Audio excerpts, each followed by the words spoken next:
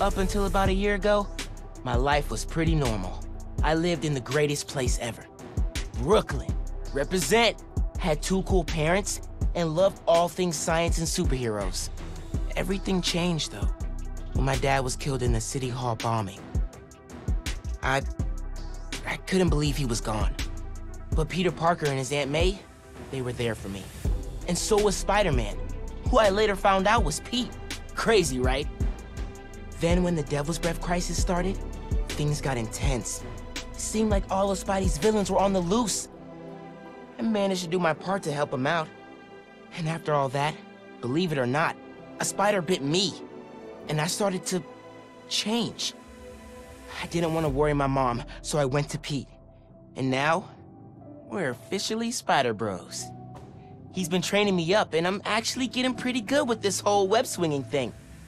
I'm still learning to juggle this responsibility with everything else in my life. School, friends, a new home.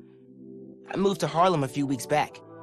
But I'll tell you, I can't wait to see what the future holds.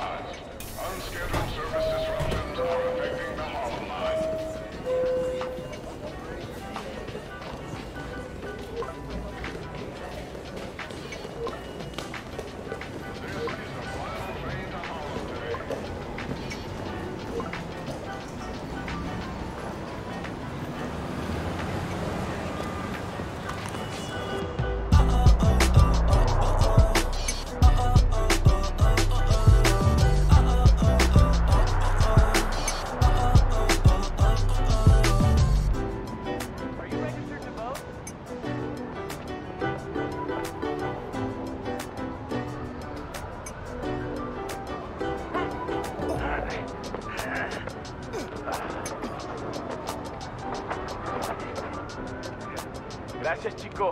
De nada.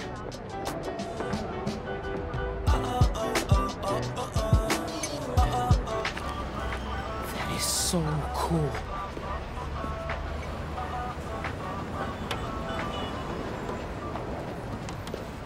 I got you. Hey, thanks. No problem. Hey, uh, you think you're gonna add that new Spider-Man too? The kid? Yeah, uh, maybe. Original's just my guy, you know? Yeah, I know.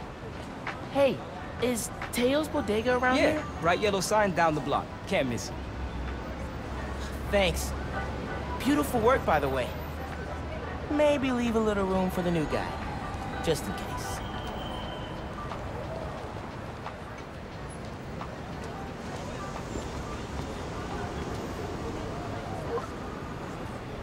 The convoy.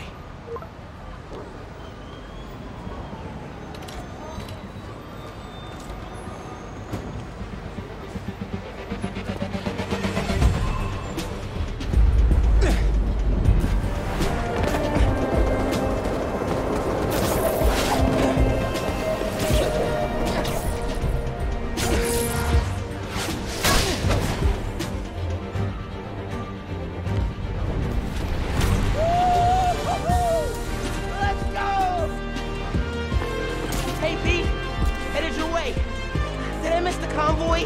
Not yet. They're still securing a couple inmates. Man, it feels good seeing the guys who escaped last year going back to the raft. Real good. The raft's an eyesore, but it's secure. As long as the octopus-related flaws have been fixed.